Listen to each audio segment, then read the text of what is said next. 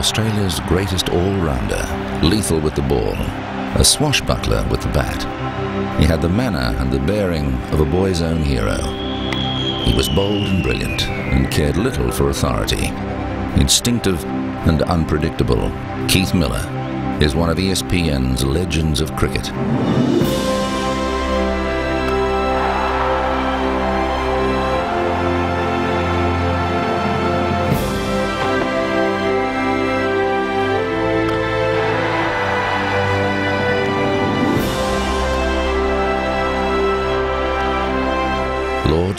1956. At the age of 36, Keith Miller, leading a much weakened Australian attack, returned his best ever test match bowling figures. Oh.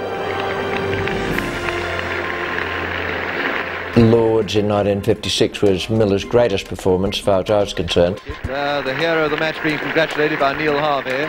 Uh, we desperately needed to win at Lords. Uh, we lost Lindwall with a torn muscle.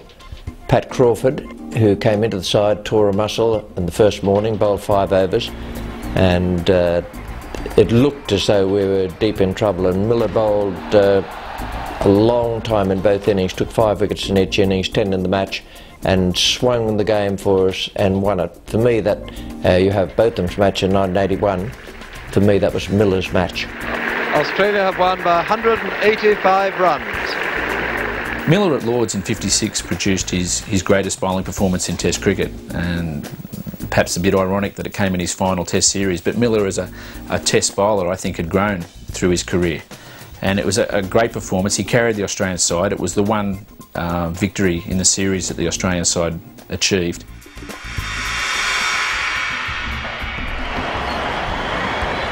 As a bowler, Miller was famously unpredictable. He could bowl as quick as anybody that was around in those days. He didn't always bowl that quick.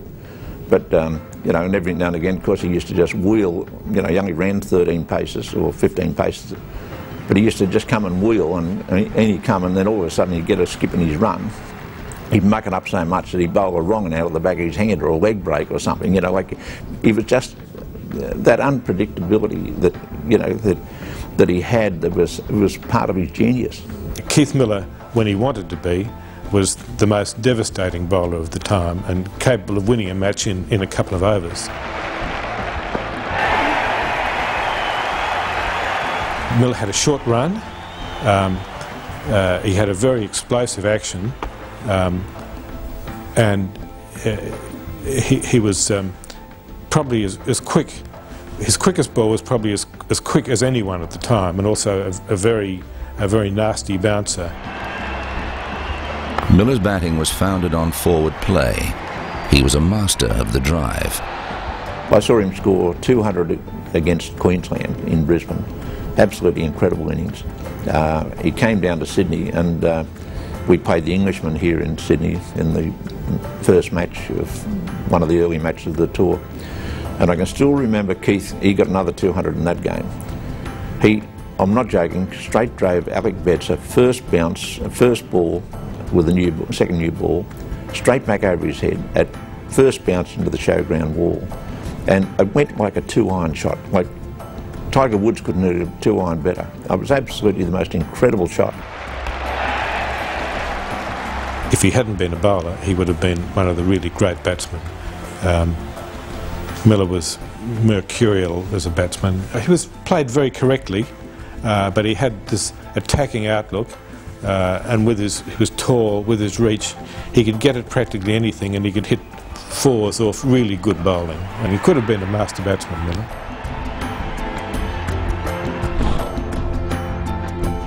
Miller was also a captain of imagination and flair. Miller was, uh, to me, a legend. He was someone I copied. I thought he was the best cricketer, best captain never to captain Australia. And um, he was some, uh, someone who was an instinctive captain. He taught me a great deal on the field when he was captain of New South Wales. When he was um, appointed captain of New South Wales, and it was Bobby Simpson who told me the story. And Simpson had just come from uh, Western Australia to play for New South Wales, and it was going to be his first match. And uh, Miller was leading the team down on the field, and Simpson was there. And suddenly the gate man apparently said to Miller, Mr. Miller, you're taking 12 men onto the field. He goes, uh, would one of you gentlemen kindly mind leaving the field?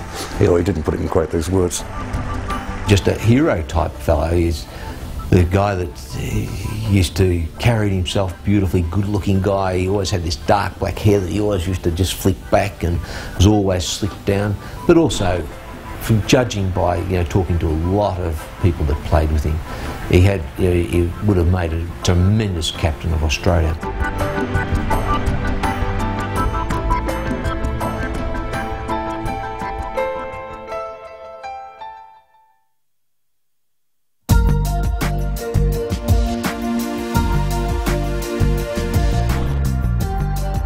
February 1938, at the age of 18, Keith Miller played his first match for Victoria. He scored 181, but he might have been a Victorian hero in another sport. He was a great uh, Australian rules football player down in Melbourne and um, he's regarded down there as one of the, the stars of that era. So he, he was an athlete. I think that's the, the best thing. He could probably put his hand to anything he tried. Oh, he's a magnificent athlete. If you ever saw him kick a football, uh, like um, the same as hitting a golf ball, like he'd hit a golf ball like miles out of any any further than anybody you could ever imagine. Just he was just the most complete natural athlete.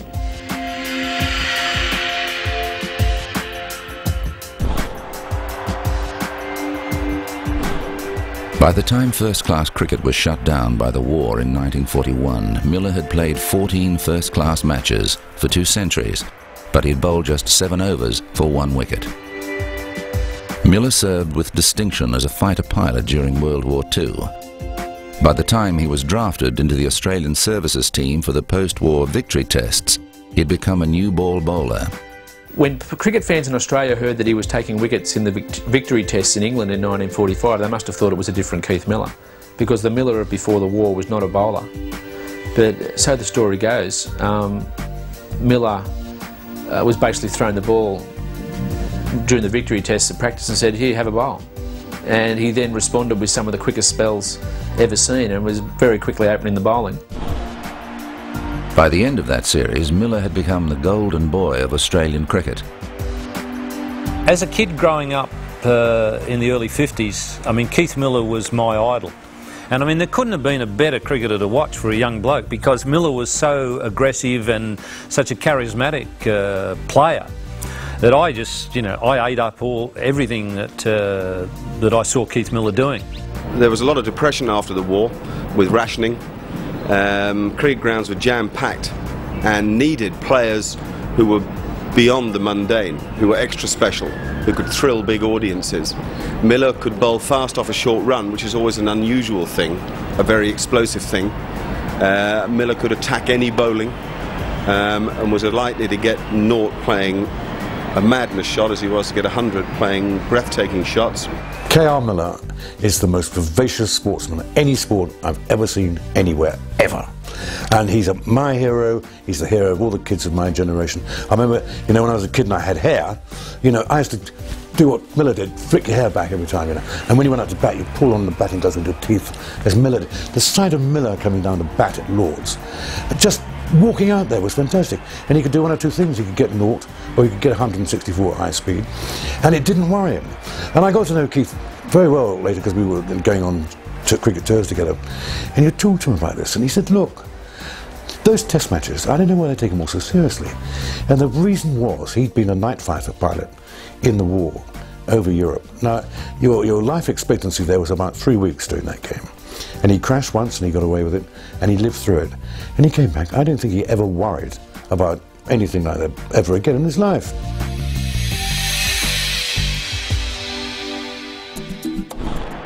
Keith Miller made his Ashes debut in 1946-47 against the touring Englishman.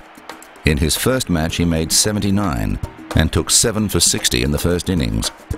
He scored his maiden century, 141 not out, in the fourth test. In the first test of that series on a wet track in Brisbane he took 7 wickets. Uh, this was after he'd scored 79 with the bat. Uh, he then scored 100 in Adelaide. Um, immediately, a new star was born. It was, it was tell he was a major figure in, in, he was going to be a major figure in international cricket. He's the best all-rounder we've produced in this country in my time. Um, I think he probably could have made a few more runs if he felt inclined. I don't think he really pushed himself uh, to the extent that he might have done as a batsman. But um, get his dander up with the ball in his hand, he was probably as dangerous a fast bowler as I've seen. By now, Miller with Ray Lindwall had formed one of the greatest fast bowling combinations in history. Almost a perfect bowling combination. Uh, Lindwall accurate, very quick, um, never giving anything away, and Miller at the other end um, more mercurial. They fed off each other. Uh, Lindwall could take wickets, but he'd also keep them quiet. Uh, batsmen would be inclined, because Miller was a bit looser, to think they could get away with something, score runs off Miller, but um, uh, the fact that Lindwall had kept them quiet made them more inclined to take chances against Miller and hence more inclined to get out. Ray was the best bowler I ever saw of any type, and his control and, and everything was just um, was perfect. And when you think about it, at the other end you had, you know, uh, Miller who was unpredictable. You just didn't know what was going to come next. And, really, it's a perfect team. Keith and Ray were great pals. They they worked in unison. Uh, they were different types of personalities. Uh, Keith was a more volatile character, and Keith, of course, was a better batsman than Ray. Keith was an outstanding bowler. And um, at times, uh, when he was in the mood, Keith could be an absolutely devastating fast bowler as well. Um, but uh, it was better to use him in relatively short bursts, you know, give him three or four overs at a time. Keith was also an outstanding slip field, and he too was one of the great all-rounders that's played the game. Marvellous cricketer.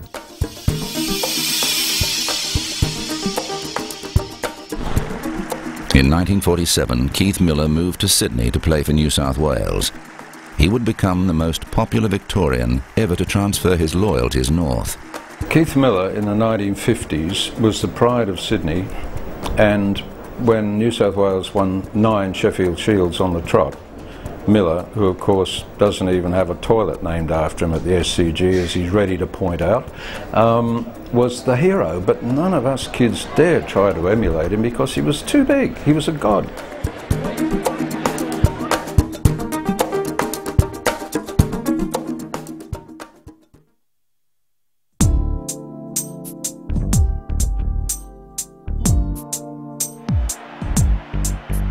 1948 tour of England, famous as Bradman's last campaign, was fraught with difficulty for Miller.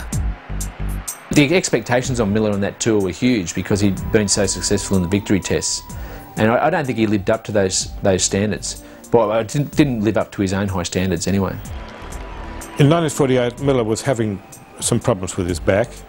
I also think that it was probably all a bit too easy for Miller that tour. He, he, he, would, have, he would have played better cricket if there'd been more of a challenge. And I think the fact that um, they were winning easily all the time and they were winning against, uh, playing against people who were, who were Miller's friends, uh, Edrich and Compton and those people, he liked them, they were his friends. Uh, he probably didn't enjoy the easy victories against people that he liked. By now, Miller was, in his own way, almost as popular as the Don himself but he was by no means Bradman's favourite cricketer. I think the relationship between Miller and Bradman was always uneasy. Miller was very easygoing, and I think Bradman probably disapproved of that to an extent, and there were a couple of instances uh, in England when uh, Bradman asked Miller to bowl, and Miller had a bad back and threw the ball back to him. Then later on after the war, um, uh, in a testimonial match, Miller bowled a number of bounces at, uh, at Bradman, which Bradman obviously didn't appreciate.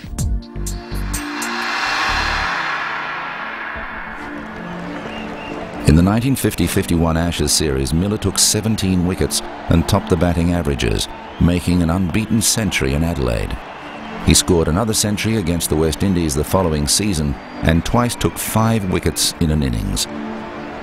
Miller was at his greatest as, a, uh, as an all-rounder, I think, in the early 50s. Um, I think he came back to Australia after the 48 tour and didn't have a very successful 48-49 series in Australia to the point that he was left out of the Australian team to South Africa in 49-50. Uh, but he went over there as a late replacement when Bill Johnston was hurt in a car crash and, and went very well in South Africa. So then we had reaffirmed his spot in the side for, um, the 50-51 Ashes tour, and uh, he was Australia's leading player in that in that summer, and then followed up against the West Indies the season after. And that was where he really established his reputation, I think. Miller was Miller was the star of a very good Australian team in that period, um, and the great thing about that the early 50s is that England had just as good a team. Uh, so you saw you saw Miller at his best, uh, competing, and you saw some very good cricket. In 1955 against the West Indies, Miller once again stole the show.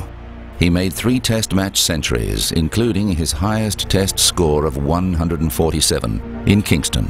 Miller loved, loved the West Indies. He loved, he, he, loved being there and he, he loved playing against them. I think the West Indies cricketers had more in common with, with Keith Miller than a lot of the Australian or English cricketers. There's an image of the West Indies cricketers as those carefree, carefree Caribbean cricketers, but they played at home in a very hard school, and, and the, the, the, the competition within the West Indies was, was very hard, very tough. And I think Miller liked that. After Miller's match-saving 10 wickets at Lord's in 1956, Australia suffered heavy defeats in the third and fourth tests. There was media speculation that Miller might replace Ian Johnson as Australian captain. To me, it's insane that Miller was never captain of Australia. I mean, purely in terms of um, cricketing nous and cricketing ability, he was so clearly the obvious choice to be Australia's captain after Lindsay Hassett retired. And Instead, the Australian selectors chose um, Ian Johnson as captain. Miller would certainly have been a more inspiring captain than, than Ian Johnson, uh, but Johnson had all the attributes of uh, solidity and reliability that Miller didn't have. Um, the fact that Johnson was chosen over Miller is mm, uh, might well be a reflection of, of Bradman's uh, preference for um, uh, reliability uh, than sort of the volatile um, aspect that Keith Miller brought to the game. Their Majesties invited the Australian cricketers to tea at the castle. Here the Queen is talking to Miller. Probably the fact that, you know, when you toured England there was so much speech making to be made, all that sort of thing. And, and really I couldn't imagine Keith Keith probably could have done it, but, but I, I you know, I think it would have been a, a real effort. If those in power were sceptical about Miller's suitability for the captaincy, those who played under him in domestic cricket had no such doubts. Miller captained New South Wales with imagination and flair, never reckless, but often bold, prepared to risk defeat in order to win. And from time to time, the cavalier came to the fore. Well, Miller was very good. He was uh, short on words, sometimes uh, I've been with Miller when he's walked out onto the field with the New South Wales side and he'll look around to find uh, who's in the team. And once I heard him say, oh, just find yourself scatter. And that was it. But move one yard out of position on the field and you'd get a nod to get back there. He's uh, very, very quick to, to sense uh, what was going right and wrong and uh, he was a fine captain.